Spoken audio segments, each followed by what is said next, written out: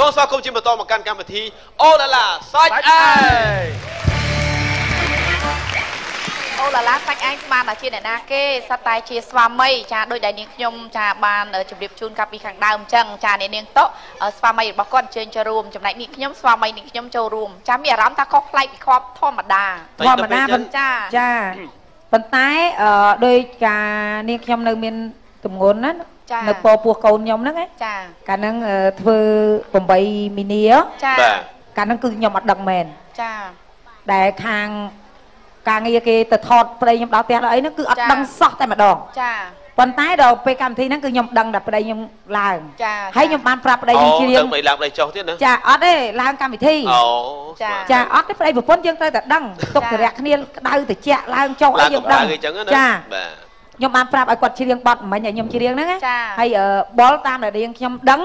គឺប្រពន្ធចូលចិត្តដើរតាមបាទតែចឹងបទហ្នឹងវាត្រូវអស់ចាអស់ចាខ្ញុំដើរទៅណាគេតាមហាមអើយហាមមើលតែខ្ញុំជាអ្នកទោសខ្ញុំថាបងឯងហាត់ឲ្យចេះបទហ្នឹងពីអ្នកបុលថាចឹងណាចាតែគាត់អត់ចេះមើលទៅអនេះត់រដកងសើចដែររកឃើញរកឃើញហ៎ អត់ដងបាទអត់ទេបើប្តីនេះខ្ញុំឲ្យគាត់ហាត់ដែរតែដូចថាគាត់អត់មានពេលចាចាចាំគាត់ដែរតែគាត់អត់មានពេលហើយជាប់រវល់ថតកម្មវិធីរហូតដែរអញ្ចឹងចាហើយតាមពិតទៅមិនមែននាងខ្ញុំទៅសុំដើរតាមអីទេនេះគាត់ថាអូនណៃមិនមានពេលដើរតាមមួយបងទៅចង់ប្រាប់តែទៅមានអីទៅដល់ក្រោយឆាកមានអ្នកក្រោយឆាកចាអឺស្រីស្រីៗដូចគ្នាហ៎ចាអឺអឺគាត់ថាចេះអូយជាតិអើយអឺអឺមែនគ្រួសារហ្នឹងហើយឯងណាល្អណាស់អូនចាហើយល្អណាស់ណាស់តែស្រីឲ្យដៃទេហី នឹកក្នុងចិត្តហ่าមិនចុះឲ្យដៃឲ្យទៅមានតែធ្វើស្អីកើតដៃយកទៅអីដៃយកនិយាយថានិយាយត្រូវហើយយកទៅអីដៃហើយយកមានអារម្មណ៍ណាចេះហាមិនបានគេនិយាយអញ្ចឹងទោះបីជាប្តីយើងល្អយ៉ាងម៉េចក៏ដោយយើងក៏មានអារម្មណ៍មួយគិតថាហាមិនបានអញ្ចឹងណាយើងឆ្ងល់ខ្លួនឯងអញ្ចឹងហើយណាថៃណោះបងថៃពីជីអង្គុយអោបបាខ្ញុំពុះឈឺកំពុពោះងតែមើលនៅក្នុងកញ្ចក់ទូរទស្សន៍ដោយសារឃើញអ្នកទាំងពីរនិយាយទៅទឹកមុខដោយសារគេបានជួបជុំបាទមួយកម្លាំងហ្មងហើយខ្ញុំសប្បាយចិត្តអូស ប្បាយចិត្តរំព្រោះភើបថាចិត្តក្រុមក្រុមគ្រួសារនៅពេលដែលយើងធ្វើការហត់នឿយយ៉ាងម៉េចក៏ដោយបានជួបគ្នានៅក្នុងពេលដែលបំពុំបំពេញភារកិច្ចនេះបាទដូចថាមានកម្លាំងកម្លាំងកម្លាំងមកពីណាទេចាត្រង់ខ្ញុំខ្ញុំសរសើរពួកគាត់ត្រង់ថានៅខាងក្រៅមានពាក្យនិយាយច្រើននៅពេលនៅក្នុងកម្មវិធីនេះចេះតែមានពាក្យដូចថានិយាយបញ្ចេញបញ្ចូលពីទឹកចិត្តគ្នានិយាយបញ្ចូលពីរឿងខឹងក្រេវក្រោធអីអញ្ចឹងឥឡូវវគ្គមុនហ្នឹងគឺថា អស់ហើយអស់ទោះហើយរឿងដើមគ្នាឬក៏និយាយអាក្រក់អីមួយគ្នាអញ្ចឹងណាមិនអាក្រក់អីទេដោយសារតានេះជាបញ្ហាក្នុងជីវិតត្រូវតែមានបញ្ហាដូចថាល្អក់ល្អក់កកតិចតួចអាចបកស្រាយបានបាទចាប៉ុន្តែខ្ញុំចង់និយាយចេះឥឡូវប្តីខ្ញុំក៏មកចាបាទប្តីអ្នកសុជាតិក៏ក៏មកមកអឺហើយចម្រុងឯងជប្តីចម្រងប្តីចម្រងអត់មកប្តីចម្រុងឯងណែចម្រុងឯងឯងបានសន្យាថាបើសិនជាចា ប្តីសេតោប្តីនាងខ្ញុំមកចូលរួមកម្មវិធីចម្រុងឯងខានឹងយកប្តីមកដែរអើអើអើប្រពន្ធដល់ប្រពន្ធប្រពន្ធបងពីអាជីមកខ្ញុំចាខ្ញុំបែងនេះហើយហ្នឹងហើយតែពិតខ្ញុំថាដល់បង្ជីហ៎បង្ជីអ่าប្រពន្ធមកបើខ្ញុំយកមកដែរដោយសារបង្ជីអត់យកមកខ្ញុំអត់យកមកដែរទៅអញ្ចឹងឯងចុះបើបងជីយកមកខ្ញុំក៏អូយាយយាយលក់ចេកអាំងមកណាយកប្រពន្ធមកណាឯងប្រពន្ធខ្ញុំយាយលក់ចេកអាំងអត់ទេយកមកអត់បើអត់មានយកមកពីណាដូចខ្ញុំប្រាប់ចឹងថាដែលមានពាក្យចចាមអារាមថាចម្រុងនោះមាន គូតដឹងចិត្តការកូនអ្នកមានស្អាតឆ្លាតអឺចូលកាប់បានមកលោកមែនតើកាប់បានមកចាអត់មានឥឡូវយើងនៅអឺមានតារាកិត្តិយសមួយដួងទៀតអញចាដែលគាត់ទើបអញ្ជើញមកពីស្រុកក្រៅនោះនិយាយចេកអាងហើយមែនមួយទេណាដែលយើងអឺយើងមិនដែលបានធ្លាប់សង្ស័យបានយើងចេះអានអឺស្គាល់មុខរបស់គាត់ទេចាថាស្គាល់តែតាមអឺទូរស័ព្ទដែលប្តីគាត់បានបង្ហាញចារូបភាពពិតពិតចាៗចា ជាភរិយារបស់គាត់ចាឥឡូវគាត់បានអឺនេះឯងឯងមិនទេសង្ស័យចាឥឡូយើវងកុំចេះមាត់ណាចាឥឡូវដល់ស្គៀមបងប្អូនគ្នាណាឥឡូវសូមរងចាំទស្សនានៅ ចារូបរាងពិតរបស់គាត់ដូចតទៅសូមអញ្ជើញខ្ញុំ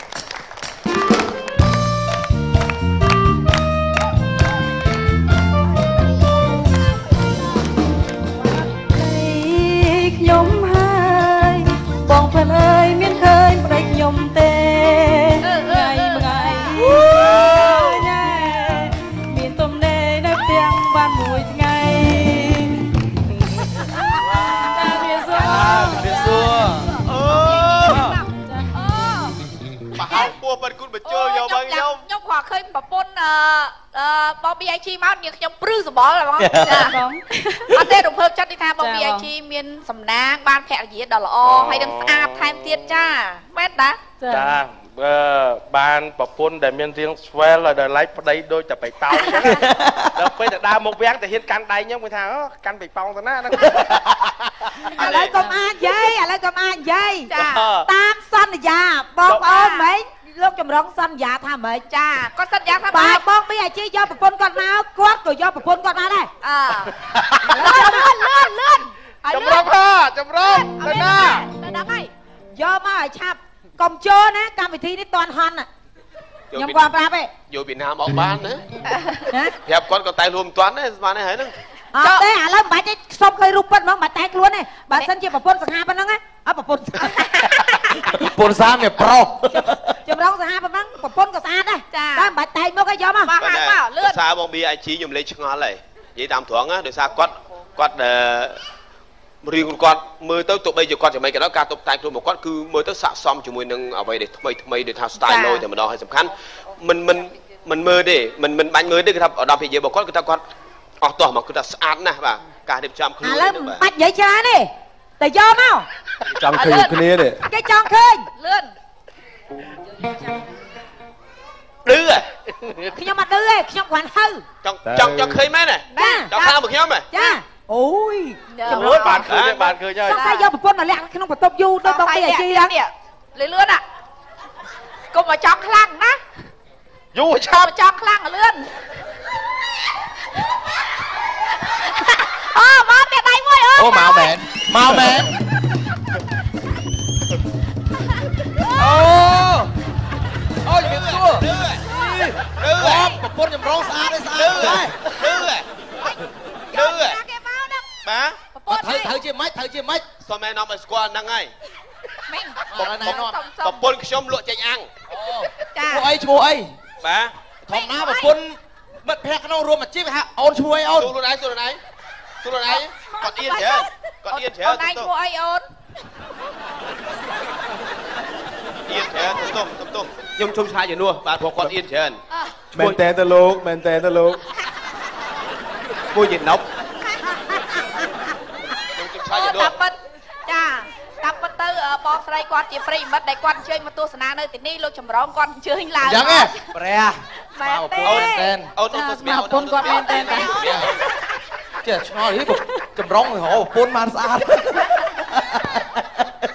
ហើយការមានប្រាប់ឯម៉ាត់មក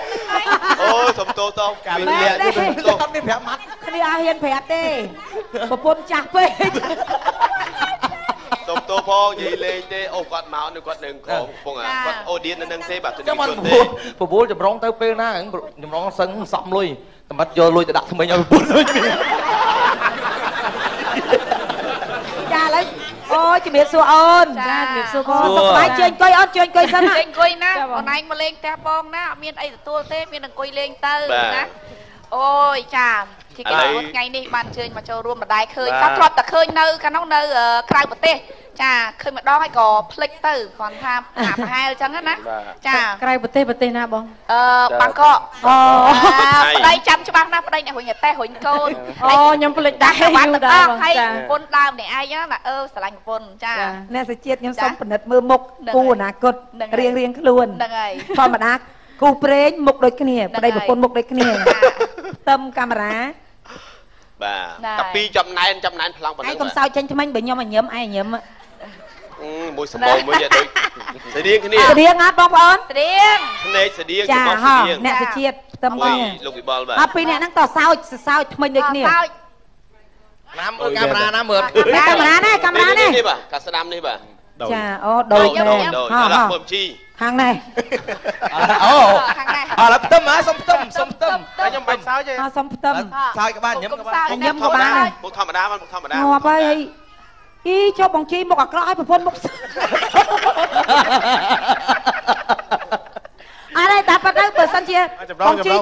អត់ទេបើសិនជាបងជីស្គមណាចាក៏អាចមុខដូចប្រពន្ធដែរដោយសារចាឯមុខមកពីមុខតម្រងមុខគាត់មូលដូចគ្នាចាតែដល់គាត់តាំងធាត់ស្គាល់មកធាត់ហ្មង ចាអូតែមុខមូលចេះមិនមែនមុខមកឲ្យធាត់មកពូប្រពន្ធបានអត់ទេតាត្រូវបងប្រពន្ធបងជីមុខគាត់ស្អាតណាច្រមុះស្រួចចាតម្រងមុខមានភ្នែកអីមូលចម្លែកអីបងប្អូននេះហ្នឹងឥឡូវចេះខ្ញុំចង់សួរទៅបងស្រីដែរអាដាមពីយើងបងបង BIG អត់ទៅបងស្រីឈ្មោះអីដែរបាទសុំទោសអបាទត់ទេឈប់ឈប់ឈប់បាទទុកឲ្យប្រៃពុនគេសួរគ្នាអូអូបាទបាទបាទបាទគេសួរអត់ប្រាប់ទេឥឡូវលោកប៉ែញចម្រុងបានសួរសំណួរទៅអូនឯងហើយចាំបងអញអៀនមែន អត់មានអីល្អព្រោះឯងគាត់ពិធីកោអូតន់អីហងចាញ់ក្រាមចូលស្លុតយកបងតន់ពីស្លុតយកចូលចូលចូលប៉ាក់ចូលប៉ាក់មួយពួកបងបានចាបាទពួកខ្ញុំស្លូតដល់អញ្ចឹងទៅបានប្រពន្ធទៅថាស្លូតគូនឹងកាចបាទដល់អញ្ចឹងបានប្រពន្ធដល់កាចចាំបានសុខអត់ទេប្រពន្ធអ្នកសួរកុំមកមើលមុខចម្រងគៀមអូនឯងឈ្មោះអីគេប្រាប់បងប្អូអឺនទៅខ្ញុំឈ្មោះសុផារីបាទបាទហើយនាមតកូលផងដុលសុផារី បាទហើយនៅមួយគ្នាយូរសំកាត់ទេអត់ស្គាល់ឈ្មោះប្រពន្ធអឺខ្ញុំខ្ញុំចង់ខ្ញុំចង់សួរតែចេះណែសំលៀកបំពាក់របស់បង BIG ពិនិត្យអ្នកណាទីនេះអារម្មណ៍នេះរៀបចំជូនណារៀបចំមកអឺនិយាយទៅគឺគាត់អឺរៀបចំខ្លួនឯងផងគឺខ្ញុំអ្នកជំនួយខ្លះទៅហើយអឺយើងទៅការទៅទិញនៅក្រៅมันមានចាពូគីឡូគាត់នៅស្រុកខ្មែរអត់មានលក់គេទីចាស់ជាគីមីចូលមិញចាដល់ពេលដូចថាគាត់មានរូបរាងដូចថារៀងធាត់អញ្ចឹង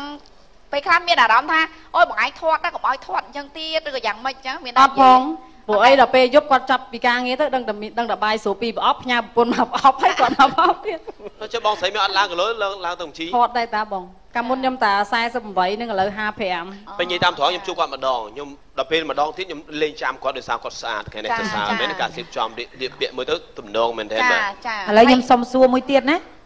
រាល់ថ្ងៃដេកលើពូកឬមួយក៏ដេកលើគាត់ ទៅតុកតាខ្លាំងខ្មុំហ៎អត់ទេអត់ដេកលើគាត់ដេកលើគាត់វាអត់កើតទេមិនចឹងអូនដេកទៅបាក់កឲ្យសាក់ខាត់បកចាពោះតាព្រួយពេលដែលគាត់គេងទៅបើយើងមើលពីក្រោមទៅអត់ឃើញអត់ឃើញក្បាលគាត់អត់ឃើញមុខឃើញតែពោះទេអូចាតែអឺអឺអាអូនគេងមួយគាត់ចាចាព្រួយរៀងដូចគ្នាអូចាកូនប្រុសឲ្យកូនស្រីកូនប្រុសកូនប្រុសចាតែដោយសារតែអញ្ចេះពីមុនពីមុនមករាល់កម្មវិធីរបស់ My TV តែងតែឲ្យខាង ហៅថាសុភាពមេរីជាឧត្តមពេទ្យាជាអ្នកបកស្រាយពីបេះដូងពីការស្រឡាញ់អីអីអញ្ចឹងណាអេតាមធម្មតាបរិះជាអ្នកនិយាយទេពីច្រើនបាទប៉ុន្តែឥឡូវពេលនេះកម្មវិធីរបស់យើងគឺសុំឲ្យខាងនារីជាអ្នកបកស្រាយវិញមូលហេតុអ្វីស្រឡាញ់នៅឧត្តមស្វាមីរបស់ខ្លួនហើយស្រឡាញ់ត្រង់ចំណុចណាជាងគេសូមសេចក្ដីមុនគេណាតាមពិតអញ្ចេះអឺ យើងជួបគ្នារាល់ថ្ងៃយើងសួរគ្នារាល់ថ្ងៃអីហើយគាត់អត់សូវបានឡើងកម្មវិធីអញ្ចឹងឲ្យផ្ដល់ឱកាសហ្នឹងឲ្យគាត់និយាយឲ្យច្រើនតិចអីម្នាក់ម្ដងអញ្កុំចឹងអៀនកុំគិចវេះកុំវេះហើយសោះរាល់ដងនេះគឺដោយសារតែអញ្ចេះលោកវិបុលព្រមទាំងបងធាគឺតែតែងតែបកស្រាយច្រើនណាស់ការស្រឡាញ់អស់ពីបេះដូងយ៉ាងណាយ៉ាងណាលះបង់យ៉ាងណាយ៉ាងណាតែនៅឡើយទេសូមបញ្ចេញការស្រឡាញ់បន្តិចនៅក្នុងកម្មវិធីរបស់យើងបាទសូមអញ្ជើញមកសាច់ឯងបាទចាខ្ញុំរាល់ថ្ងៃខ្ញុំស្រឡាញ់ប្តីខ្ញុំ អឺតាំងពីចាប់ដៃគ្នាមក10ឆ្នាំហើយនិយាយរួមឲ្យអឺពីរអ្នកខ្ញុំតម្រាំសំលុយបានការហ្នឹងយើងអឺរស់នៅឲ្យស្គាល់ចិត្តគ្នាមុនហ្នឹងចំនួន2ឆ្នាំអូបន្ទាប់មកការបាន8ឆ្នាំហើយសរុបទៅវា10ឆ្នាំគត់ចាក្នុងឆ្នាំហ្នឹងខ្ញុំមើលចិត្តប្តីខ្ញុំដោយសារគាត់អឺចេះផ្ដល់គេហៅថាសុភមង្គលព្រះមង្គលនិងសេចក្តីសុខឲ្យខ្ញុំជាច្រើនបំផុតបាទហើយកាន់តែស្រឡាញ់គាត់ខ្លាំងពេលដែលខ្ញុំមានផ្ទៃពោះ ពេលដែលខ្ញុំមានផ្ទៃពោះប្តីខ្ញុំមិនដែលធ្វើឲ្យខ្ញុំពិបាកចិត្តមួយវិនាទីណាគឺអត់ទេប្តីខ្ញុំអឺឃ្លាតតែពីដើមទ្រូងខ្ញុំពេលដែលគាត់ទៅរលុយឯងក្រៅពីហ្នឹងគឺគាត់មកនៅក្បែរខ្ញុំរហូតបែរដើមអទ្រូងញ្ចឹងចាស់ក្បែរដើមទ្រូងអូធ្វើឲ្យបេះដូងរបស់ខ្ញុំគឺមានភាពកក់ក្ដៅជាមួយគាត់អញ្ចឹងខ្ញុំអាចអឺចាប់ផ្ដល់ចាសុភមង្គលឲ្យគាត់វិញដោយសារគាត់ចេះផ្ដល់សុភមង្គលឲ្យខ្ញុំហើយមួយណាក្រុមគ្រួសារខ្ញុំគឺគាត់ស្រឡាញ់ក្រុមគ្រួសារខ្ញុំចូលចិត្តឪពុកម្ដាយខ្ញុំ ស្រឡាញ់បងប្អូនខ្ញុំទាំងអស់អញ្ចឹងសុភមង្គលកន្លែងហ្នឹងហើយដែលកើតឡើងក្នុងគ្រួសារហើយខ្ញុំក៏ផ្ដល់សុភមង្គលឲ្យគាត់វិញខ្ញុំស្រឡាញ់ឪពុកម្ដាយគាត់បងប្អូនគាត់ដូចជាឈាមបង្កើតរបស់ខ្ញុំអញ្ចឹងចាអញ្ចឹងសុភមង្គលកើតមានត្រង់ម្ដុំត្រង់ហ្នឹងអូមកដល់ត្រង់ទ្រូងបាទចាម្ដុំដើមទ្រូងអូចាបាទដល់ឥឡូវពេលស្វាមីវិញម្ដងអឺស្វាមីធ្លាប់និយាយហើយប៉ុន្តែសូមឲ្យនិយាយសិជាតិវិញអត់ដែរបានបាននិយាយសោះដែរលឺសោះបាទ មូលហេតុអ្វីខ្ញុំសានិយាយដល់កម្មវិធីប៉ុង21អីនិយាយរាល់ដងដែរតាប៉ុន្តែលើកនេះខុសគ្នាចឹងហ៎ព្រោះឥឡូវសាច់ឯងចង់ឲ្យនិយាយតិចថាហ្នឹងពីតាំងពីចាប់ដៃគ្នាមកពីមុនចាប់ដៃគ្នាមកឥឡូវហ្នឹងចឹងណាដែរចាការនិយាយមានអីតោះខុសតិចតួចអីយើងអាចនិយាយគ្នាបានឬក៏មានអីក្នុងចិត្តចង់ប្រាប់សូមអញ្ជើញបាទអឺកាលពីមុនចេះ យើងចេះបានភាសាគ្នាដូចថានៅពេលដែលស្រឡាញ់គ្នាทั้ง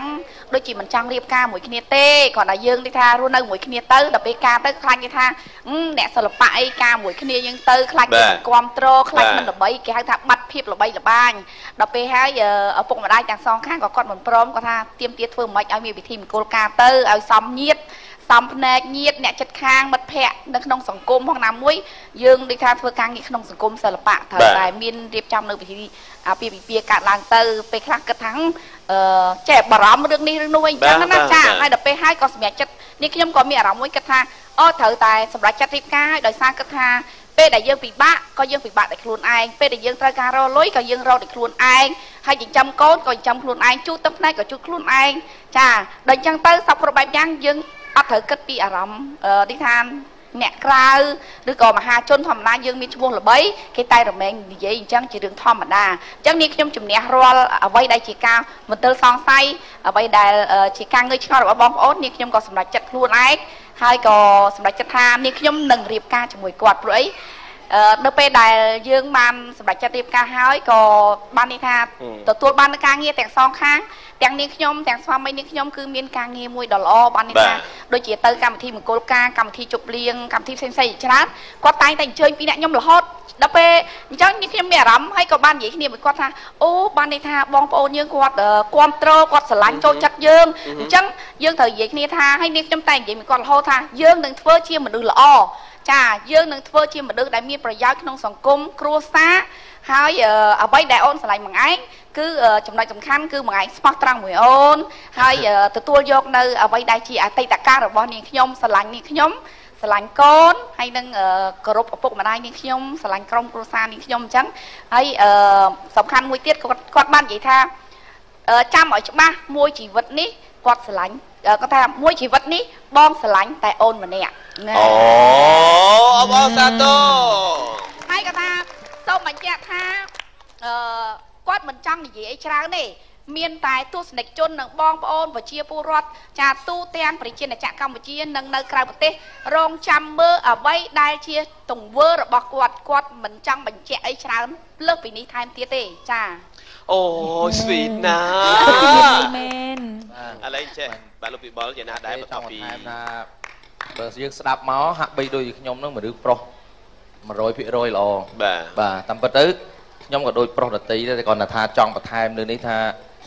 អឺចង់ឲ្យបងប្អូនយើងមើលមើលទង្វើដែលខ្ញុំបាននិយាយដូចតាមទូទស្សន៍ប៉ុស21ឬរឿងមួយក៏កម្មវិធីពេញចិត្តអត់ដែលពីមុនពីមុនខ្ញុំនិយាយហើយរហូតមកដល់ពេលនេះនឹងទៅអនាគតយើងមិនដឹងថាអនាគត យើងកើតឡើងមានរឿងអីទេប៉ុន្តែចាំរងចាំមើលទង្វើរបស់ខ្ញុំមើលតើតាធ្វើបានដូចសម្ដីដែលខ្ញុំនិយាយទាំងអត់ហើយដូចតែខ្ញុំចេះតែបាននិយាយថាពិធីរៀបវៀងអាពីវិពីវាគ្រាន់តែជាការបង្ហាញតាមអត្តសញ្ញាណឬក៏ប្រពៃណីខ្មែរយើងអឺហៅថាលិខិតអាពីវិពីវាគ្រាន់តែការបញ្ជាក់សំខាន់បំផុតគឺចិត្តរបស់យើងគ្មានអ្វី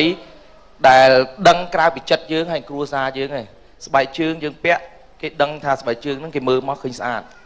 ប៉ុន្តែគ្មានអ្នកណាដឹងថាស្បែកជើងដែលយើងពាក់នេះស្អុយស្អុយអត់ដឹងទេបាទស្អុយឬស្អុយខ្ញុំដឹងឬក៏ឈឺក៏ឬស្រួលក៏យើងអត់ដឹងដែរមានតែខ្លួនយើងមិនដឹងអញ្ចឹងគ្រាន់តែថាខ្ញុំចង់បញ្ជាក់ថាខ្ញុំមិនមែនជាមនុស្សល្អ100%ទេគ្រាន់តែខ្ញុំចង់បាននូវសុភមង្គលមួយដូចគេដូចឯងតែប៉ុណ្ណោះ អូចាអូឥឡូវចេះបាទដោយសារតែអ្នកទាំងពីរសាច់ឯងសុតសុំខ្ញុំធ្វើជាពិធីកចុះពួកខ្ញុំវាឯកាទៅហើយធ្វើមិនជាជីវិតនេះបាទហានីជ័យអាំងលោកជ័យអាំងចឹងហានីណាអឺត្រឡប់មកលោក BIG វិញសំណួរហៅថាមិនមានច្រើនទេសូមមកសំណួរចុះបាទយ៉ាងណាដែរចំពោះការឆ្លាញ់របស់លោកតាំងពីចាប់ដៃគ្នាមុនចាប់ដៃគ្នារហូតដល់បច្ចុប្បន្ននេះមានអ្វីចង់ជំរាបគាត់នៅក្នុងឱកាសនេះទេបាទសូមអញ្ជើញបាទឲ្យខ្ញុំចំណែកនិយាយបាទបាទបាទបាទបាទ អរគុណដល់លោកប៉ែចម្រុង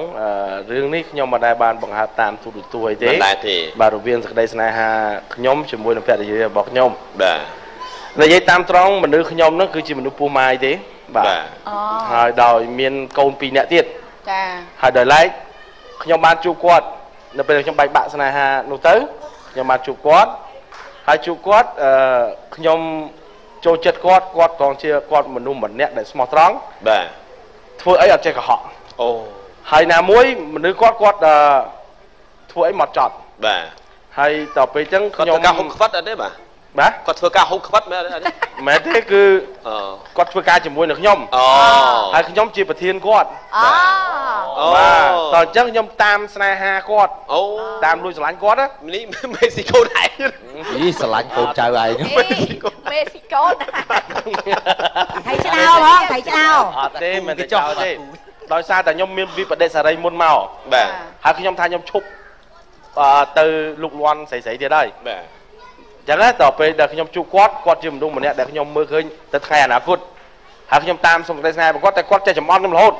ចំអន់ខ្ញុំប្រអាប់ខ្ញុំចេះតែបើគាត់ថាពេលដែលធ្វើការហ្នឹងគាត់ឃ្លានអីចង់ញ៉ាំអីគឺខ្ញុំព្យាយាមទៅយកអ្វីដែលគេចូលចិត្តលួឲ្យងគេបាទបាទលួងគេលួងចិត្តគេគាត់នេះ មិនតោះចូលតោះចិត្តគេទេហ្មងបាទបាទហើយណាមួយដូចអឺខ្ញុំនឹងអត់តដែរគឺខ្ញុំបានចាប់ដៃជាមួយនឹងគាត់និយាយស្មោះត្រង់គឺខ្ញុំគ្មានលុយកាក់អីទេចា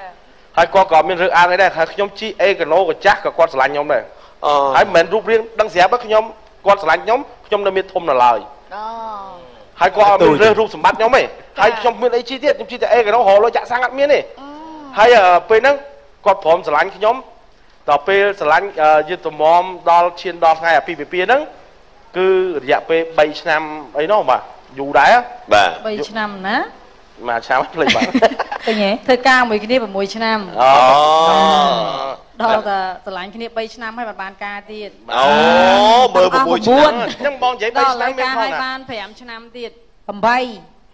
10ជាងឆ្នាំហើយ10ឆ្នាំជាអងត់ទេ6ឆ្នាំហ្នឹងយើងគ្រាន់តែស្គាល់គ្នាតែធ្វើការហ្នឹងបាទធ្វើការតែតែចង់និយាយការស្រឡាញ់គ្នានៅមួយគ្នាគឺបាទ3ឆ្នាំបាទចា3បន្ទាប់មកបាន5ឆ្នាំទៀតណាចាអញ្ចឹង5វាឆ្នាំគិតទៅទៀត8ឆ្នាំអឺតិចជាងខ្ញុំ2ឆ្នាំខ្ញុំ10ឆ្នាំឆ្នាំហ្នឹងហើយចាចាយើង10ឆ្នាំតែគ្រាន់ឆ្លោះគ្នា9ឆ្នាំហ្នឹងយីអត់សូវដែរនិយាយនិយាយម៉ាត់ម៉ាត់បានការមក អារឿងគាត់ខ្ញុំឲ្យហែកគេមិនហែកគេ អារឿងគេកំពុងតែស្លងចិត្តស្ដាប់យើងណាអារឿងចឹងដែលគេចេះទៅចុះផ្សាយណាឯងរឿងគេកំពុងតែបាទតតលោក BIG តទៀតបាទសូមជើញបាទហើយបន្តមកហើយណាមួយតទៅពេលខ្ញុំឈានចូលដល់ថ្ងៃអាពាហ៍ពិពាហ៍ហ្នឹងគឺដេញតុងទីនដេញអីចឹងណាយើងលេងណាតស៊ូចាបាទតស៊ូដោយអត់មានលុយទាំងពីរនាក់ហើយតែបានរៀបអាពាហ៍ពិពាហ៍ទៅហើយខ្ញុំសួរខាងឪពុកម្ដាយរបស់ខ្ញុំហើយនិងខាងឪពុកម្ដាយអឺរបស់គាត់ហើយអញ្ចឹង ខាងក្រុមគ្រួសារគាត់គាត់អត់មានឪពុកទេគាត់មានតែម្ដាយហើយក៏មានប្អូនហើយនិងបងប្រុសហើយនិងប្អូនស្រីបើទាំងអស់បងប្អូនគាត់3នាក់ទាំងគាត់4នាក់4នាក់បាទហើយចឹងគេចូលចិត្តខ្ញុំចាអញ្ចឹងតទៅពេលយើងឈានដល់អាពាហ៍ពិពាហ៍ហើយយើងទៅយើងចេះតែសំបកប្រស៊ីចេះតែមានរកស៊ីអីទេដែលយើងអ្នកសិល្បៈយើងអ្នកលក់សម្លេងអញ្ចឹងហើយចេះតែធ្វើការបានទីជួចេះតែសំសំសំមកដល់ថ្ងៃហ្នឹងសំបានមែនចាបាទបានកូនមួយហើយបានកូនមួយ អីបានផ្ទះហើយបានណាអីមួយដែរបងអឺខ្ញុំរៀបការជាមួយនឹងគាត់ខ្ញុំនិយាយស្មោះត្រង់តែម្ដងតាំងពីរៀបការមួយឆ្នាំខ្ញុំអត់ដែលមានបញ្ហាទេចាពួកមនុស្សខ្ញុំខ្ញុំអត់ចូលចិត្តរឿងការឆ្លោះឆ្លោះគ្នារឿង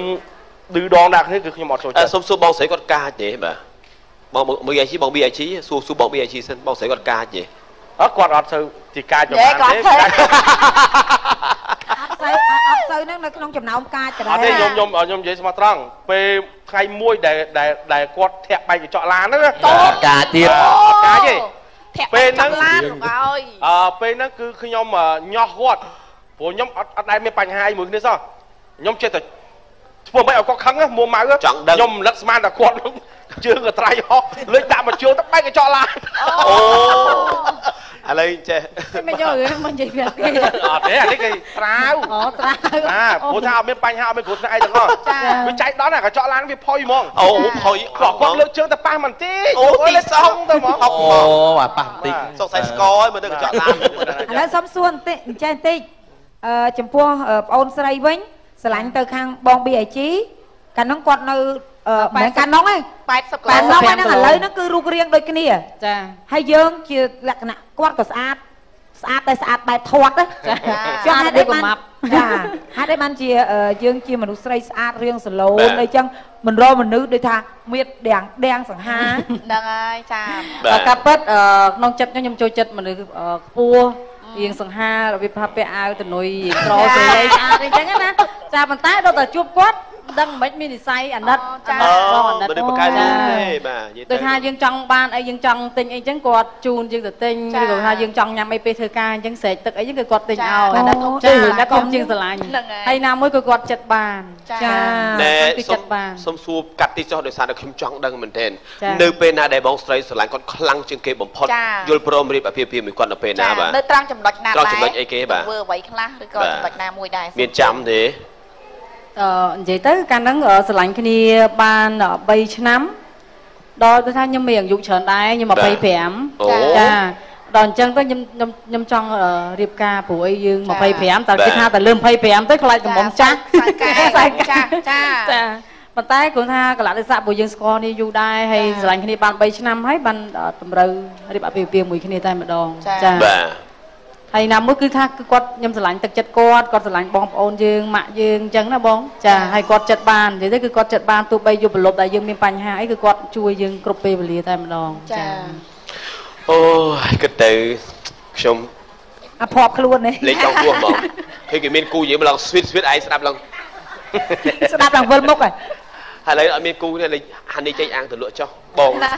គិតថា យើងពីរនេះមិនអាចនៅវិគ្នាបានទេអត់អាចចេះស្វីតសោះចេះលក់ចេញអាំងមួយមុខគត់បងចង់មក iPhone ឯងលក់ចេញអាំង2តោនឲ្យបងពេលនេះបងសុខចិត្តមិនបានស្វីតជាមួយអូនបន្តទៀតទេ iPhone ណែកុំចេះតែនិយាយអញ្ចឹងទោះបីជាគាត់ក្រក៏ដោយមានក៏ដោយសំខាន់លើចិត្តឃើញទេចាបងពីអាជីឃើញទេទោះបីជារូបរាងគាត់ធាត់តែគាត់បានចិត្តសំខាន់ណាស់មនុស្សយើងយកមនុស្សស្អាតមកមិនមែនយកមកលាងទឹកផឹកទេចាចាសំខាន់ទៅលើចិត្តអ្វីដែលថា យើងខំស្រឡាញ់គេហឹមស្រឡាញ់មនុស្សនឹងសង្ហាប៉ុន្តែ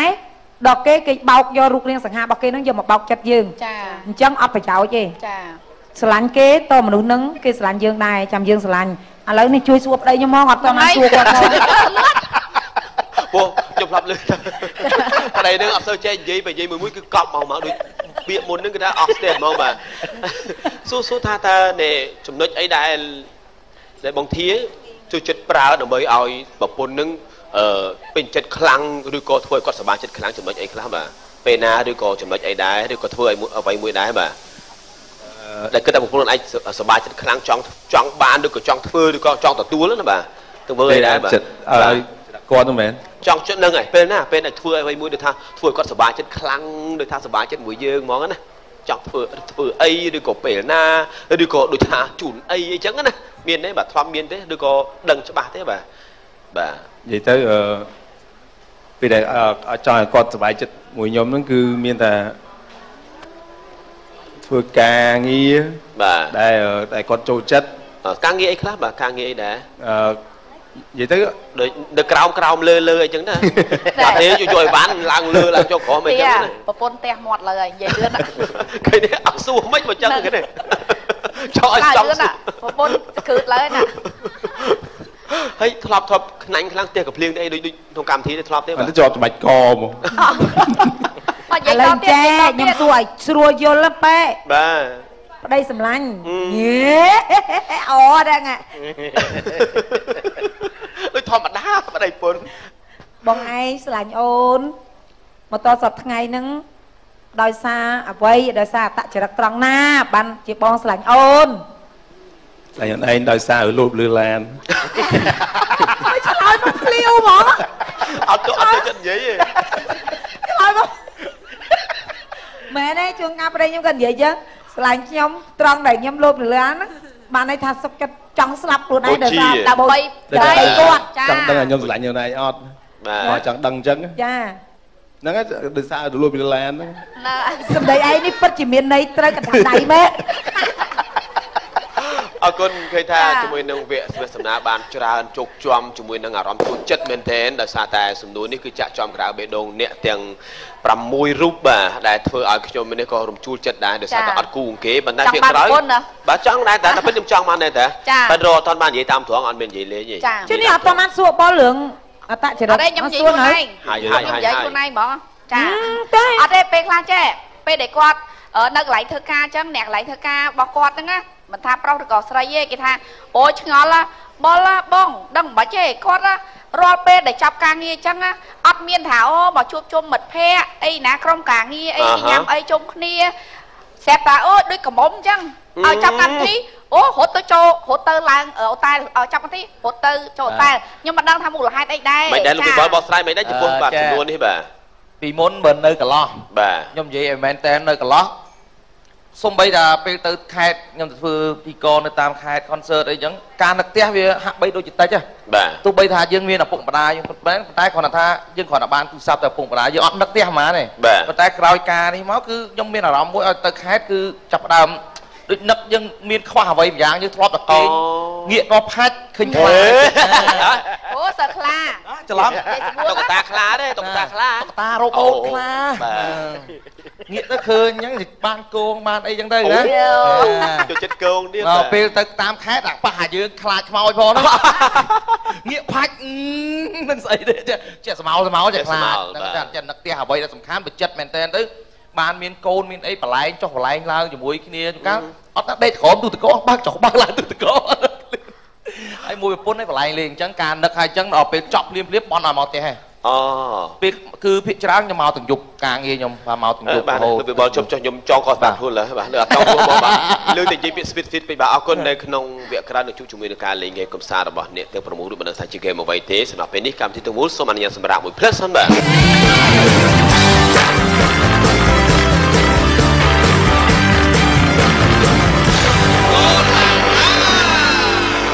គេតែរមែងនិយាយអញ្ចឹងជារឿងធម្មតាអញ្ចឹងនាងខ្ញុំជំនះរាល់អ្វីដែលជាការមន្ទិលសង្ស័យអ្វីដែលអឺជាការងើយឆ្ងល់របស់បងប្អូននាងខ្ញុំក៏សម្រេចចិត្តខ្លួនឯងហើយក៏សម្រេចចិត្តថានាងខ្ញុំនឹងរៀបការជាមួយគាត់ព្រោះអីអឺ នៅពេលដែលយើងបានសម្រេចចិត្តរៀបការហើយក៏បានន័យថាទទួលបាននូវការងារទាំងសងខាងទាំងនាងខ្ញុំទាំងស្វាមីនាងខ្ញុំគឺមានការងារមួយដ៏ល្អបានន័យថាដូចជាទៅកម្មវិធីមង្គលការកម្មវិធីជប់លៀងកម្មវិធីផ្សេងៗជាច្រើនគាត់តែងតែអញ្ជើញពីអ្នកខ្ញុំរហូតដល់ពេលអញ្ចឹងនេះខ្ញុំមានអារម្មណ៍ហើយក៏បាននិយាយគ្នាមួយគាត់ថាអូបានន័យថាបងប្អូនយើងគាត់គ្រប់គ្រងគាត់ស្រឡាញ់ចូលចិត្តយើងអញ្ចឹងយើងត្រូវនិយាយគ្នាថាហើយនេះខ្ញុំតែនិយាយមួយគាត់រហូតថាយើងនឹងធ្វើជាមនុស្សល្អ ចាយើងនឹងធ្វើជាមនុស្សដែលមានប្រយោជន៍ក្នុងសង្គមគ្រួសារហើយអឺអ្វីដែលអូនស្រឡាញ់មួយឯងគឺអឺចំណុចសំខាន់គឺមួយឯងស្មោះត្រង់មួយអូនហើយអឺទទួលយកនៅអ្វីដែលជាអតីតកាលរបស់នាងខ្ញុំស្រឡាញ់នាងខ្ញុំ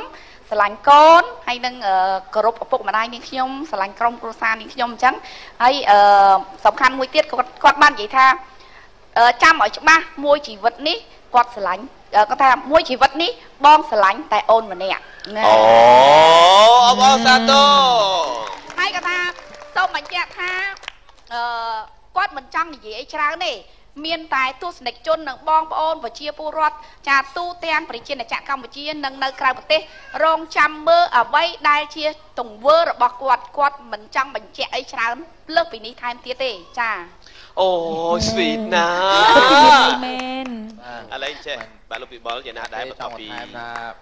បន្ថែមថាបើយើងស្ដាប់មកហាក់បីដូចជាខ្ញុំនឹងមនុស្សប្រុស100%ល្អបាទបាទតាមពិតទៅខ្ញុំក៏ដូចប្រុសដតីដែរតែគាត់ថាចង់បន្ថែមលើនេះថា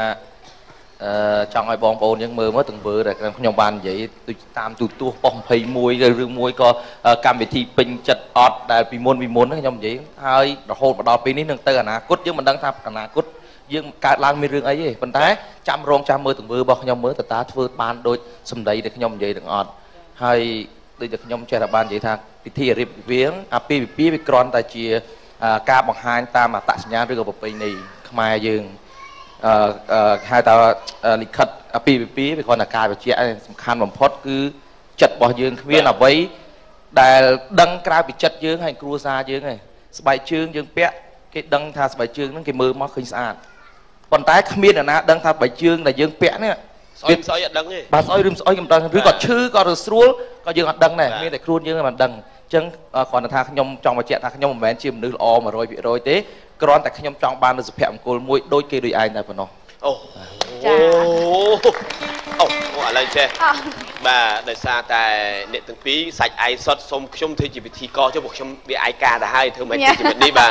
ហានីជ័យអាំងលោកជ័យអាំងចឹងហានីណាអឺត្រឡប់មកលោក BIG វិញសំណួរហៅថាមិនមានច្រើនទេសូមមកសំណួរចុះ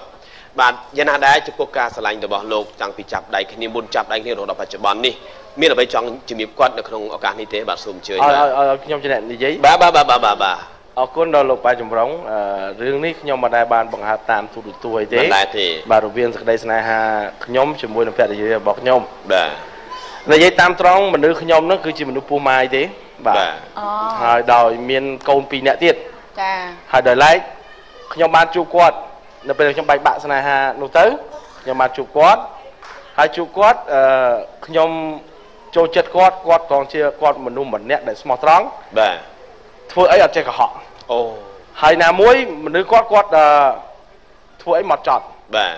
ហើយដល់ពេលអញ្ចឹងគាត់ខ្ញុំធ្វើការហុកខ្វិតអត់ទេបាទបាទគាត់ធ្វើការហុកខ្វិតមែនអត់ទេមិនមែនទេគឺអូគាត់ធ្វើការជាមួយនឹងខ្ញុំអូហើយខ្ញុំជាប្រធានគាត់អូអូបាទតោះអញ្ចឹងខ្ញុំតាមស្នេហាគាត់អូតាមលួចស្រឡាញ់គាត់ណានេះមេស៊ីកូនឯងយីស្រឡាញ់កូនចៅឯងអេមេស៊ីកូនថៃឆ្ដោផងថៃឆ្ដោអត់ទេមិនតែចោលទេ ដោយសារតែខ្ញុំមានវិបដិសារីមុនមកបាទហើយខ្ញុំថាខ្ញុំឈប់អឺទៅលុកលាន់ស្រីស្រីទៀតហើយបាទអញ្ចឹងណាដល់ពេលដែលខ្ញុំជួបគាត់គាត់ជាមនុស្សម្នាក់ដែលខ្ញុំមើលឃើញទៅថ្ងៃអនាគតហើយខ្ញុំតាមសុំក្តីស្នេហ៍របស់គាត់តែគាត់ចេះចំអន់ខ្ញុំរហូតចំអន់ខ្ញុំប្រអាប់ខ្ញុំចេះតែបើគាត់ថាពេលដែលធ្វើការហ្នឹងគាត់ឃ្លានអីចង់ញ៉ាំអីគឺខ្ញុំព្យាយាមទៅយកអ្វីដែលគេចូលចិត្តលួងគេបាទបាទលួងគេលួងចិត្តគេគាត់នេះ មិនមិនអស៊ីត់កូនគាត់ចាយើងហ្មងបាទបាទហើយណាមួយដូចអឺខ្ញុំនឹងអូតូដែរគឺខ្ញុំបានចាប់ដៃជាមួយនឹងគាត់និយាយស្មោះត្រង់គឺខ្ញុំគ្មានលុយកាក់អីទេចាហើយគាត់ក៏មានរឿងអាងអីដែរហើយខ្ញុំជីអេកាណូក៏ចាស់ក៏គាត់ស្រឡាញ់ខ្ញុំដែរអូហើយមិនមែនរូបរាងដឹងស្រាប់ទេខ្ញុំគាត់ស្រឡាញ់ខ្ញុំខ្ញុំនៅមានធំនៅឡើយអូហើយគាត់អត់មានរើសរូបសម្បត្តិខ្ញុំទេហើយខ្ញុំមានអីជីទៀតខ្ញុំជីតែអេកាណូរហលុយចាក់សាំងអត់មានទេហើយអឺអាបងប្អូនម៉េច លោកចម្រុងសន្យាថាម៉េចចាគាត់សិតយ៉ាងថាបើម៉េចបងមានអាជីយកប្រពន្ធគាត់មកគាត់ក៏យកប្រពន្ធគាត់មកដែរអើលឿនលឿនលឿនឲ្យចម្លឿរុនងហ่าចម្រុងទៅណាទៅដល់ហើយយកមកឲ្យឆាប់កុំចូលណាកម្មវិធីនេះតន់ហន់ណាខ្ញុំគាត់ប្រាប់ទេយកពីណាមកបានណាណាប្រាប់គាត់ក៏តែរួមមិនទាន់ដែរស្មានទេហើយហ្នឹង អត់ទេឥឡូវមិនបាច់ទេសុំឃើញរូបពិតហ្មងមិនតែខ្លួនទេបើសិនជាប្រពន្ធសង្ហាប៉ុណ្ណឹងណាអត់ប្រពន្ធពុនសាមវាប្រុសចម្រុងសង្ហាប៉ុណ្ណឹងប្រពន្ធក៏ស្អាតដែរតែមិនបាច់តែងមកឯងយកមកមកហៅមកលឿនដោយសារបង BIG ខ្ញុំលេងឆ្ងល់ហើយនិយាយតាមត្រង់ណាដោយសារគាត់គាត់អឺរៀងគាត់មើលទៅទោះបីជាគាត់យ៉ាងម៉េចក៏ដោយការតុបតែងខ្លួនរបស់គាត់គឺមើលទៅស័ក្តិសមជាមួយនឹងអ្វីដែលថ្មីថ្មីដូចថា style ឡូតែម្ដងហើយសំខាន់មិនមិនមិនមើលទេមិនមិនបាញ់មើលទេគឺថាដល់ពីនិយាយរបស់គាត់គឺថាគាត់ អស់ទាស់មកគឺថាស្អាតណាស់បាទការរៀបចំខ្លួនឥឡូវហ្នឹងមិនបាទបាច់និយាយច្រើនទេតែយកមកចង់ឃើញគ្នាទេគេចង់ឃើញលឿនឌឺហ៎ខ្ញុំអត់ឌឺទេខ្ញុំគ្រាន់ហៅចង់ចង់ចង់ឃើញមែនទេណាចង់ខាងមកខ្ញុំហ៎ចាអូយ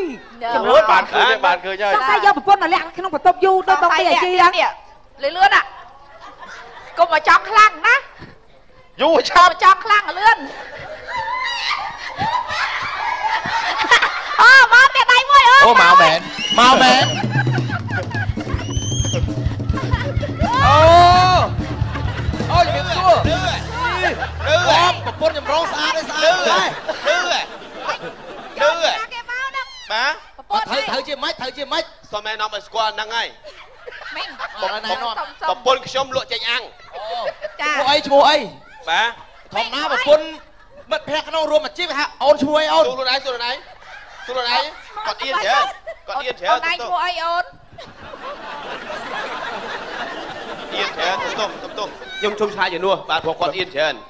មែនតែទៅលោកមែនតែទៅលោកមួយជាណប់ខ្ញុំជុំឆ្លាយអូជំនួសតាពិតចាតាមពិតទៅអឺបងស្រីគាត់ជាប្រិយមិត្តដែលគាត់អញ្ជើញមកទស្សនានៅទីនេះលោកចម្រងគាត់អញ្ជើញឡើងអញ្ចឹងហ៎ព្រះមែនទេអូនតែនអូនអូនទៅស្មាមកប្រពន្ធគាត់មែនតែនតា ចេះឆ្ងល់ហីចម្រុងហៅប្រពន្ធបានស្អាតហើយការមានប្រាប់ឯម៉ាត់មកអូសុំទោសតោះការមែលានក់ទេទោសគាត់មានប្រាប់ម៉ាត់គ្នាអត់ហ៊ានប្រាប់ទេប្រពន្ធចាស់ពេកសុំទោសផងនិយាយលេងទេអូគាត់មកនៅគាត់នៅក្រមកំពុងអាគាត់អូឌៀននៅនឹងទេបាទទៅចាំនិមកជនពទេូលពពូលចម្រុងទៅពេលណាហ្នឹងចម្រុងសឹងសំលុយតែបាត់យកលុយទៅដាក់ថ្មិញឲ្យពូលលុយមានចាឥឡូវ អូយជំរាបសួរអូនចាជំរាបសួរបងសុខសប្បាយជើញអង្គុយអូនជើញអង្គុយសិនណាលេងអង្គុយណាចាបងអូនឯងមកលេងផ្ទះបងណាអត់មានអីទទួលទេមានអង្គុយលេងទៅបាទណាអូយចាជាឥកិឡូត្តិវយសថ្ងៃនេះបានអញ្ជើញមកចូលរួមម្ដាយឃើញបាទសោះធ្លាប់តែឃើញនៅកាលនោះនៅអឺក្រៅប្រទេស ចាឃើញម្ដងហើយក៏ភ្លេចទៅគាត់ថាអាប្រហែលអញ្ចឹងណាបាទចាក្រៅប្រទេសប្រទេសណាបងអឺចាបាងកកអូអាប្តីចាំច្បាស់ណាស់ប្តីអ្នករុញតែរុញកូនអូខ្ញុំភ្លេចដែរតែបានយូទៅរអដែរស់បងហើយចាប្រពន្ធដើមម្នាក់ឯងណាអឺស្រឡាញ់ប្រពន្ធចាចាអ្នកសុជាតិខ្ញុំចាសូមពិនិត្យមើលមុខហ្នឹងគូហើយអនាគតហ្នឹងហើយរៀងរៀងខ្លួនហ្នឹងហើយធម្មតាគូប្រេងមុខដូចគ្នាហ្នឹងប្តីហើយប្រពន្ធមុខដូចគ្នាចាផ្ទឹមកាមេរ៉ាបាទដែរតែពីរចំណែនចំណែនប្លង់ប៉ុណ្ឯណឹងងកុំសើចចេញថ្មិញបើខ្ញុំឲ្យញឹមឯងញឹមអឺ មួយសម្បូរមួយទៀតដូចស្តៀងគ្នាស្រៀងអត់បងប្អូនស្រៀងភ្នែកស្តៀងចាចំបោះហោស្តៀងអ្នកសុជាតិផ្ទឹមមួយគ្នាលោកវិបលបាទអត់ពីរអ្នកហ្នឹងតសើចសើចថ្មិញដូចគ្នាសើចណាមើលកាមេរ៉ាណាមើលកាមេរ៉ាណាកាមេរ៉ានេះនេះបាទកាស្ដាំនេះបាទចាអូដូចដូមែចនដូចហោឥឡូវហោមើលជីខាងនេះអូខាងនេះអរផ្ទឹមហ៎សុំផ្ទឹមសុំផ្ទឹមតែខ្ញុំបាច់សើចទេអសុំផ្ទឹមសើចក៏បានញឹមក៏បានញឹមក៏បានដែរមុខធម្មតាបាទមុខធម្មតាងាប់ហើយ អីអីចុះបងជីមុខអាក្រក់ឲ្យប្រពន្ធមុខអត់ទេតែប៉ុណ្ណឹងបើសិនជាបងជីអត់ទេបើសិនជាបងជីស្គមណាចាក៏អាចមុខដូចប្រពន្ធដែរដោយសារអីមុខមកពីមុខតម្រងមុខគាត់មូលដូចគ្នាតែតែដល់ដល់គាត់គាត់តាំងស្គាល់មកធាត់ហ្មងចាអូតែតែមុខមូលចេះមិនមែនមុខមកឲ្យធាត់មកពូប្រពន្ធបាត់ អត់ទេតាត្រូវបោះប្រពន្ធបងជីមុខគាត់ស្អាតណាស់ចំមោះស្រួចចាតម្រងមុខមានភ្នែកអីមូលចម្លែកអីបងប្អូននេះហ្នឹងឥឡូវចេះខ្ញុំចង់សួរទៅបងស្រីដែរដល់ពីយើងបងបង BIG អត់ទៅបងស្រីឈ្មោះអីដែរបាទសុំទោសបាអទត់ទេឈប់ឈប់ឈប់បាទទុកឲ្យប្រៃពុនគេសួរគ្នាអូអូបាទបាទបាទបាទបងជីសួរអត់ប្រាប់ទេឥឡូវលោកប៉ែញំរងបានសួរសំណួរទៅអូនឯងហើយចាំបងអញអៀនមែនអត់មានអេអី អូព្រោះឯងគាត់ពិធីកោអូតន់អីហងចាញ់កាឡាមកស្លុតចូលស្លុតយកមកតន់ទៅពីស្លុតយកចូលចូលចូលប៉ាក់ចូលប៉ាក់មួយពួកបងបានចាបាទពួកខ្ញុំស្លូតដល់អញ្ចឹងទៅបានប្រពន្ធទៅថាស្លូតគូនឹងកាចបាទដល់អញ្ចឹងបានប្រពន្ធដល់កាចបានសុខអត់ទេប្រពន្ធអ្នកសួរកុំមកមើលមុខចម្រងធៀបអូនឯងឈ្មោះអីគេប្រាប់បងប្អូអនទៅឺខ្ញុំឈ្មោះសុផារីបាទបាទហើយចា៎នាមតកូលផងដុលសុផារីបាទហើយនៅមួយគ្នាយូរសំកាត់ទេអត់ស្គាល់ឈ្មោះប្រពន្ធ អឺខ្ញុំខ្ញុំចង់ខ្ញុំចង់សួរតែចេះណែសំលៀកបំពាក់របស់បង BIG ពិនិត្យអ្នកណាជាអ្នករំអ្នករៀបចំជូនណារៀបចំមកអឺនិយាយទៅគឺគាត់អឺរៀបចំខ្លួនឯងផងគឺខ្ញុំអ្នកជំនួយខ្លះទៅហើយបាទអឺយើងទៅការទៅទិញនៅក្រៅมันមានបាទចាពូគីឡូគាត់នៅស្រុកខ្មែរអត់មានលក់និយាយចាស់ជាគីមីចូលមិញចាដល់ពេលដូចថាគាត់មានរូបរាងដូចថារៀងធាត់អញ្ចឹងពេលខ្លះមានអារម្មណ៍ថាអូយបងឯងធាត់ដែរកុំឲ្យធាត់អញ្ចឹងទៀតឬក៏យ៉ាងម៉េចអញ្ចឹងមានអត់ផង ព្រោះអីដល់ពេលយប់គាត់ចាប់ពីការងារទៅដឹងតែមានដឹងតែបាយស្រួលពីប្រអប់ផ្ញើប្រពន្ធមកប្រអប់ហើយគាត់មកប្រអប់ទៀតទៅចេះបងស្រីមានអត់ឡើងគីឡូឡើងឡើងទៅជីធាត់ដែរតាបងកាលមុនខ្ញុំតា48នឹងឥឡូវ55ពេលនិយាយតាមត្រង់ខ្ញុំជួបគាត់ម្ដងខ្ញុំដល់ពេលម្ដងទៀតខ្ញុំលេងចាំគាត់ដោយសារគាត់ស្អាតថ្ងៃនេះទៅសារមែនការរៀបចំរៀបពាក្យមើលទៅទំនងមែនទេចាបាទចាឥឡូវខ្ញុំសុំសួរមួយទៀតណារាល់ថ្ងៃដេកលើពូកឬមួយក៏ដេកលើគាត់ ទៅតុកតាខ្លាំងខ្មុំមើលអត់ទេអត់ដេកលើគាត់ដេកលើគាត់វាអត់កើតទេមិនចឹងអូនដេកទៅបាក់គាត់ឲ្យសាក់គាត់បកចាពោះតាព្រួយពេលតែគាត់គេងទៅបើយើងមើលពីក្រោមទៅអត់ឃើញអត់ឃើញក្បាលគាត់អត់ឃើញមុខឃើញតែពោះទេអូចាតែអឺអឺអាអូនគេងមួយគាត់ចាព្រួយរៀងដូចគ្នាអូចាកូនប្រុសហើយកូនស្រីកូនប្រុសកូនប្រុសចាតែដោយសារតែអញ្ចេះពីមុនពីមុនមករាល់កម្មវិធីរបស់ My TV តែងតែឲ្យខាង ហៅថាសុភាពមេរីជាឧត្តមពេទ្យាជាអ្នកបកស្រាយពីបេះដូងពីការស្រឡាញ់អីអីអញ្ចឹងណាអេតាមធម្មតាបរិះជាអ្នកនិយាយទេពីច្រើនបាទប៉ុន្តែឥឡូវពេលនេះកម្មវិធីរបស់យើងគឺសុំឲ្យខាងនារីជាអ្នកបកស្រាយវិញមូលហេតុអ្វីស្រឡាញ់នៅឧត្តមស្វាមីរបស់ខ្លួនហើយស្រឡាញ់ត្រង់ចំណុចណាជាងគេសូមសេចក្ដីមុនគេណាតាមពិតអញ្ចេះអឺយើងជួបគ្នារាល់ថ្ងៃយើងសួរគ្នារាល់ថ្ងៃអី ហើយគាត់អត់សូវបានឡើងកម្មវិធីអញ្ចឹងឲ្យផ្ដល់ឱកាសហ្នឹងឲ្យគាត់និយាយឲ្យច្រើនតិចអីម្នាក់ម្ដងអញ្កុំចឹងអៀនកុំគិចវេះកុំវេះឲ្យសោះរាល់ដងនេះគឺដោយសារតែអញ្ចេះលោកវិបុលព្រមទាំងបងធាគឺតែតែងតែបកស្រាយច្រើនណាការស្រឡាញ់អស់ពីបេះដូងយ៉ាងណាយ៉ាងណាលះបង់យ៉ាងណាយ៉ាងណាតែនៅឡើយទេសូមបញ្ចេញការស្រឡាញ់បន្តិចនៅក្នុងកម្មវិធីរបស់យើងបាទសូមអញ្ជើញមកសាច់ឯងបាទចាខ្ញុំរាល់ថ្ងៃខ្ញុំស្រឡាញ់ប្តីខ្ញុំអឺតាំងពីចាប់ដៃគ្នាមក10ឆ្នាំហើយនិយាយរួមហើយអឺ ពីរអ្នកខ្ញុំតម្រាំសំលុយបានការហ្នឹង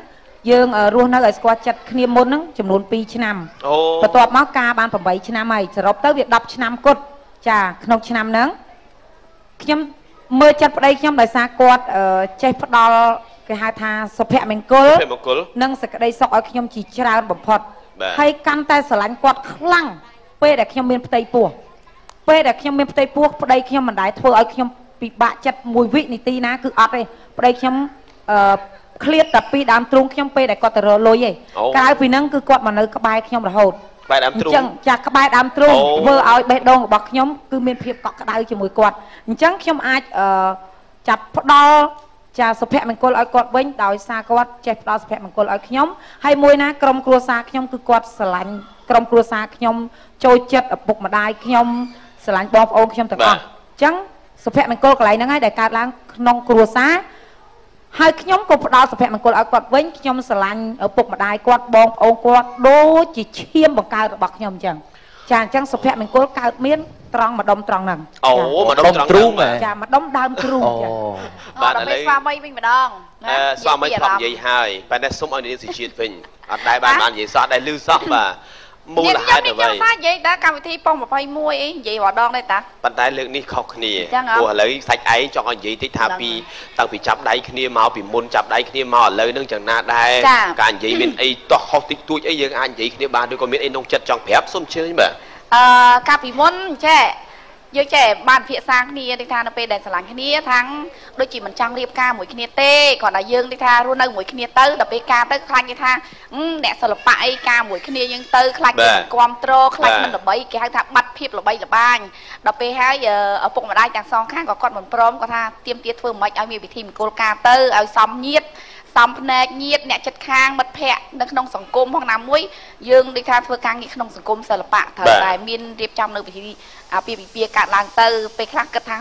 អឺចេះបារម្ភរឿងនេះរឿងនោះអីចឹងណាចាហើយដល់ពេលហើយក៏សម្រេចចិត្តនេះខ្ញុំក៏មានអារម្មណ៍មួយគិតថាអូត្រូវតែសម្រេចចិត្តរៀបការឲ្យដោយសារគិតថាពេលដែលយើងពិបាកក៏យើងពិបាកដោយខ្លួនឯងពេលដែលយើងត្រូវការរកលុយក៏យើងរកដោយខ្លួនឯងហើយចិញ្ចឹមកូនក៏ចិញ្ចឹមខ្លួនឯងជូតទឹកភ្នែកក៏ជូតខ្លួនឯងចាដល់អញ្ចឹងទៅសពគ្រប់បែបយ៉ាងយើង អត់ត្រូវគិតពីអារម្មណ៍អឺនេះថាអ្នកក្រៅ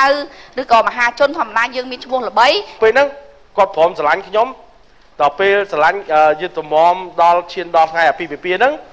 គឺរយៈពេល3ឆ្នាំអីនោះបាទយូរដែរបាទ3ឆ្នាំណាមួយឆ្នាំភ្លេចបាទឃើញទេធ្វើការមួយគ្នា6ឆ្នាំអូ ដល់តែស្រឡាញ់គ្នា3ឆ្នាំហើយមិនបានការទៀតអូ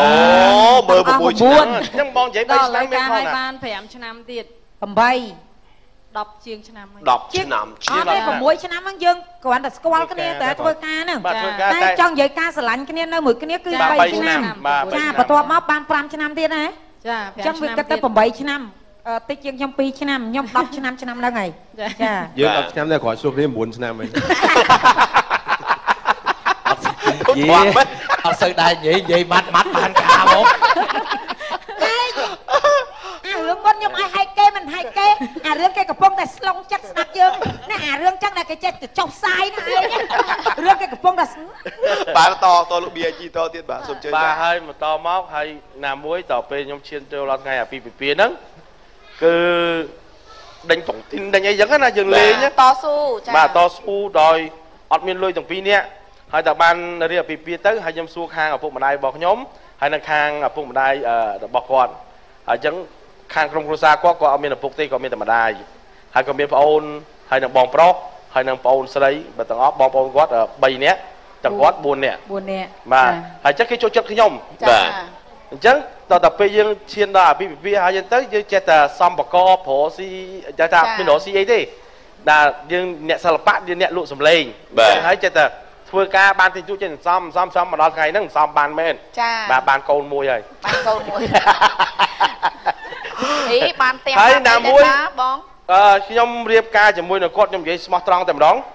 តាំងពីរៀបការមួយឆ្នាំខ្ញុំអត់ដែលមានបញ្ហាទេចា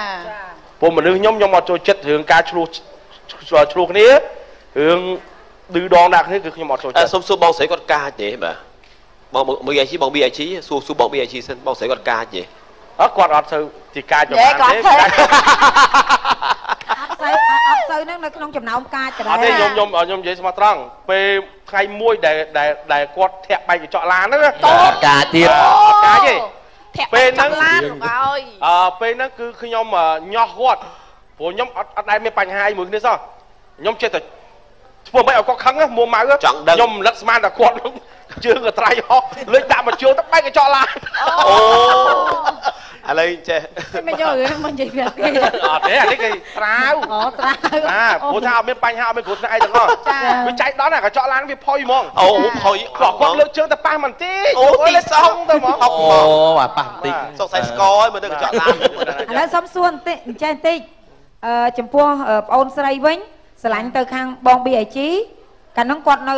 អឺមិនមែនកាលនោះទេ80គីកាលឡូនោះហ្នឹងឥឡូវហ្នឹងគឺរូបរាងដូចគ្នាចាហើយយើងជាលក្ខណៈគាត់ក៏ស្អាតស្អាតតែស្អាតបែបធាត់ណាចាស្អាតដូចកុមាប់ចាហេតុអីបានជាអឺយើងជាមនុស្សស្រីស្អាតរៀងសឡូបាទនអីចឹងមិនរមនុស្សដូចថាមៀតដាំងដាំងសង្ហាហ្នឹងហើយចាបាទការពិតអឺក្នុងចិត្តខ្ញុំខ្ញុំចូលចិត្តមនុស្សអឺខ្ពស់ រៀងសង្ហារបៀបផាពាក់អាវតនុយក្រស្រលេងស្អាតអីចឹងណាចាប៉ុន្តែដល់តែជួបគាត់មិន ដឹងមិនមាននិស័យអាណិតចាអូបងអាណិតមិនได้បកកាយចារូបទេបាទនិយាយទៅដូចថាយើងចង់បានអីយើងចង់ទិញអីចឹងគាត់ជូនយើងទៅទិញចាឬក៏ថាយើងចង់ញ៉ាំអីពេលធ្វើការអញ្ចឹងស្រែកទឹកអីចឹងគឺគាត់ទិញចាឲ្យអាណិតអុកចាចាអាណិតអុកជាងស្រឡាញ់ហ្នឹងហើយហើយណាមួយគឺគាត់ចិត្តបានចាចាណែគឺសុំចិត្តបានសុំសួរកាត់ទីចុះដោយសារតែខ្ញុំចង់ដឹងមែនទែនចានៅពេលណាដែលបងស្រីស្រឡាញ់គាត់ខ្លាំងជាងគេបំផុតចាយល់ព្រមរៀបអាពាហ៍ពិពាហ៍មួយគាត់នៅពេលណាចាបាទនៅត្រង់ចំណុចណាត្រង់ចំណុចអីគេបាទធ្វើអ្វីខ្លះឬក៏បាទចំណុចណាមួយដែរមានចាំទេអឺ និយាយទៅកាលហ្នឹងអឺស្រឡាញ់គ្នាបាន3ឆ្នាំដល់ទៅថាខ្ញុំមានអាយុច្រើនដែរខ្ញុំបាទ25អូចាដល់អញ្ចឹងទៅខ្ញុំខ្ញុំខ្ញុំចង់អឺរៀបការព្រោះអីយើងចា25តែបាទគេថាតែលើ25ទៅខ្លាចកំមុំចាស់ខ្សែកែខ្សែកែចាចាចាប៉ុន្តែគាត់ថាកលៈទេសៈព្រោះយើងស្គាល់នេះយូរដែរហើយចាស្រឡាញ់គ្នាបាន3ឆ្នាំហើយបានអឺតម្រូវរៀបអាពាហ៍ពិពាហ៍មួយគ្នាតែម្ដងចាបាទ ហើយណាមួយគឺថាគឺគាត់ខ្ញុំស្រឡាញ់ទឹកចិត្តគាត់គាត់ស្រឡាញ់បងប្អូនយើងម៉ាក់យើងអញ្ចឹងណាបងចាហើយគាត់ចិត្តបាននិយាយទៅគឺគាត់ចិត្តបានទោះបីយប់ប្រលប់ដែលយើងមានបញ្ហាអីគឺគាត់ជួយយើងគ្រប់ពេលវេលាតែម្ដងចាអូយគិតទៅខ្ញុំអាភ័ព្វខ្លួននេះលេខចង់ពោះហ្មងឃើញគេមានគូនិយាយមកឡើងស្វីតស្វីតឯងស្ដាប់ឡើងស្ដាប់ឡើងវិលមុខហ៎ហើយឥឡូវអត់មានគូទេលេខហានីចេញអាងទៅលក់ចុះបងណាគិតថា យើងពីរនាក់មិនអាចនៅវិគ្នាបានទេអត់អាចចេះស្វីតសោះចេះលក់ចេញអាំងមួយមុខគត់បងចង់មក iPhone អត់អាចលក់ចេញអាំង2តោនឲ្យបងពេលនេះបងសុំចិត្តមិនបានស្វីតជាមួយអូនបន្តទៀតទេ iPhone ណែកុំចេះតែនិយាយអញ្ចឹងទោះបីជាគាត់ក្រក៏ដោយមានក៏ដោយសំខាន់សូមស្វាគមន៍ជាបន្តមកកាន់កម្មវិធីអូឡាឡាសាច់អើយ អូឡាឡាសាច់ឯងស្មានតែជាអ្នកណាគេសត្វតែជាស្វាមីចាដោយដែលនាងខ្ញុំចាបានអឺជម្រាបជូនកាប់ពីខាងដើមអញ្ចឹងចាអ្នកនាងតុអឺស្វាមីរបស់គាត់អញ្ជើញចូលរួមចំណែកនាងខ្ញុំស្វាមីនាងខ្ញុំចូលរួមចាមានអារម្មណ៍ថាខុសប្លែកពីខប់ធម្មតាធម្មតាប៉ុន្តែចាចាប៉ុន្តែអឺដោយការនាងខ្ញុំនៅមានទំងន់ណាចានៅពពោះកូនខ្ញុំហ្នឹងណាចាកាលហ្នឹងអឺធ្វើ8មីនាចាបាទកាលហ្នឹងគឺខ្ញុំអត់ដឹងមែនចាដែលខាង ការងារគេទៅថតប្តីខ្ញុំដល់ផ្ទះដល់អីហ្នឹងគឺអត់ចាដឹងសោះតែម្ដងចាប៉ុន្តែដល់ពេលកម្មវិធីហ្នឹងគឺខ្ញុំដឹងតែប្តីខ្ញុំឡើងចាហើយខ្ញុំបានប្រាប់ប្តីអូខ្ញុំជ្រៀដឹងងបីឡើងបីចុះទៀតណាចាអត់ទេឡើងកម្មវិធីអូចាចាអត់ទេប្តីប្រពន្ធយើងត្រូវតែដឹងទុកចាតរៈគ្នាក្តៅត្រជាក់ឡើងចុះអីឡើងយើងកម្ដៅដឹងអីចឹងណាចាបាទខ្ញុំបានប្រាប់ឲ្យគាត់ច្រៀងបទមិញឲ្យខ្ញុំច្រៀងហ្នឹងណាចាហើយអឺបលតាមដែលរៀងខ្ញុំដឹងគឺប្រពន្ធចូលចិត្តដើរតាមបាទដល់អញ្ចឹងបទហ្នឹងវាត្រូវអស់ចាអស់ចាខ្ញុំដើរទៅណាគេតាម ហាមអើយហាមមើលតែខ្ញុំជាអ្នកទោសខ្ញុំថាបងឯងហាត់ឲ្យចេះបទហ្នឹងពីអ្នកបុលថាអញ្ចឹងណាចាតែគាត់អត់ចេះមើលទៅអនេះត់រដកងសើចដែររកឃើញរកឃើញហ៎អត់ដងបាទអត់ទេបើប្តីនេះខ្ញុំឲ្យគាត់ហាត់ដែរតែដូចថាគាត់អត់មានពេលចាចាចាំគាត់ដែរតែគាត់អត់មានពេលហើយជាប់រវល់ថតកម្មវិធីរហូតដែរអញ្ចឹងចាហើយតាមពិតទៅមិនមែននាងខ្ញុំទៅសុំដើរតាមអីទេនេះ គាត់ថាអូនណៃមិនមានពេលដើរតាមមួយបងទៅចង់ប្រាប់តែទៅមានអីទៅដល់ក្រោយឆាកមានអ្នកក្រោយឆាកចាស្រីស្រីៗដូចគ្នាហ៎ចាអឺគាត់ថាចេះអូយជាតិអើយអឺអឺមែនគ្រួសារហ្នឹងហើយឯងណាល្អណាស់អូនចាហើយល្អណាស់ណាស់តែស្រីឲ្យដៃទេហីនៅក្នុងចិត្តហ่าមិនចុះឲ្យដៃឲ្យទៅមានតែធ្វើស្អីកើតដៃយកហ្នឹងទៅអីដៃយកនិយាយថានិយាយត្រូវហើយយកទៅអីដៃហើយយកមានទៅអារអត់ ម្មយកណ៍ណាចេះហាមិនបានគេនិយាយអញ្ចឹងទោះបីជាប្តីយើងល្អយ៉ាងម៉េចក៏ដោយយើងក៏មានអារម្មណ៍មួយគិតថាហាមិនបានអញ្ចឹងណាយើងឆ្ងល់ខ្លួនឯងអញ្ចឹងហើយណាថៃណោះបងថៃ BG អង្គុយអោបបាខ្ញុំពុះឈឺកំពុងតែមើលនៅក្នុងអឺកញ្ចក់ទូរទស្សន៍ដោយសារឃើញអ្នកទាំងពីរនិយាយទៅទឹកមុខដោយសារអឺគេបានជួបជុំបាទមួយកម្លាំងហ្មងហើយខ្ញុំសប្បាយចិត្តអូបាទចិត្តរំព្រោះភើបថាចិត្តក្រុមក្រុមគ្រួសារនៅពេលដែលយើងធ្វើការហត់លុយយ៉ាងម៉េចក៏ដោយបានជួបគ្នានៅក្នុងអឺពេលដែលបំពុំ បាទបំពេញភារកិច្ចនេះបាទដូចថាមានកម្លាំងកម្លាំងកម្លាំងមកពីណាទេចាត្រង់ខ្ញុំខ្ញុំសរសើរពួកគាត់ត្រង់ថានៅខាងក្រៅមានពាក្យនិយាយច្រើននៅពេលនៅក្នុងកម្មវិធីនេះចេះតែមានពាក្យដូចថានិយាយបញ្ចេញបញ្ចូលពីទឹកចិត្តគ្នានិយាយបញ្ចេញបញ្ចូលពីរឿងខឹងក្រេវក្រោធអីអញ្ចឹងឥឡូវវគ្គមុនហ្នឹងគឺថាអស់ហើយអស់ទោះហើយរឿងដើមគ្នាឬក៏និយាយអាក្រក់អីមួយគ្នាអញ្ចឹងណាមិនអាក្រក់អីទេដោយសារតានេះជាបញ្ហាក្នុងជីវិតត្រូវតែមានចាបញ្ហាដូចថាចាល្អក់ល្អក់កកតិចតួចអាចបកស្រាយបានបានចាប៉ុន្តែខ្ញុំចង់និយាយចេះ ឥឡូវប្តីខ្ញុំក៏មកចាបាទប្តីអ្នកសុជាតិក៏ក៏មកមកអឺហើយចម្រុងឯងជប្តីចម្រុងប្តីចម្រុងអត់មកប្តីចម្រុងឯងណែចម្រុងឯងចម្រុងឯងបានសន្យាថាបើសិនជាចា ប្តីសេតោប្តីនាងខ្ញុំមកចូលរួមកម្មវិធីចម្រុងឯងខាងនឹងយកប្តីមកដែរអើអើអើប្រពន្ធដល់ប្រពន្ធប្រពន្ធបងពីអាជីមកខ្ញុំចាខ្ញុំបែងនេះហើយហ្នឹងហើយតែពិតខ្ញុំថាដល់បង្ជីហ៎បង្ជីអប្រពន្ធមកបើខ្ញុំយកមកដែរដោយសារបង្ជីអត់យកមកខ្ញុំអត់យកមកដែរទៅអញ្ចឹងឯងចិត្តបើបងជីយកមកខ្ញុំក៏អូយាយយាយលុចចេកអាំងមកណាយកប្រពន្ធមកណាឯងប្រពន្ធខ្ញុំយាយលុចចេកអាំងអត់ទេយកមកអត់បើអត់មានយកមកពីណាអឺដូចខ្ញុំប្រាប់ចឹងថាដែលមានពាក្យចចាមអារាមថាចម្រុងនោះមាន គូតដឹងចិត្តការកូនអ្នកមានស្អាតឆ្លាតអឺចូលកាប់បានមកលោកមែនតើកាប់បានមកចាអត់មានឥឡូវយើងនៅអឺមានតារាកិត្តិយសមួយដួងទៀតអញចាដែលគាត់ទើបអញ្ជើញមកពីស្រុកក្រៅនោះចានិយាយចេកអាងហើយមែនមួយទេណាដែលយើងអឺយើងមិនដែលបានធ្លាប់សំបានដែងយើងចេះអឺអាងស្គាល់មុខរបស់គាត់ទេចាថាស្គាល់តែតាមអឺទូរស័ព្ទដែលប្តីគាត់បានបង្ហាញចារូបភាពពិតពិតចាៗចា ជាភរិយារបស់គាត់ចាឥឡូវគាត់បានអឺនេះឯងឯងមិនទេសង្ស័ចាយឥឡូវកុំមាត់ណាចាឥឡូវនៅស្គៀមបងប្អូនគ្នាណាឥឡូវសូមរងចាំទស្សនានៅ ចារូបរាងពិតរបស់គាត់ដូចតទៅសូមអញ្ជើញ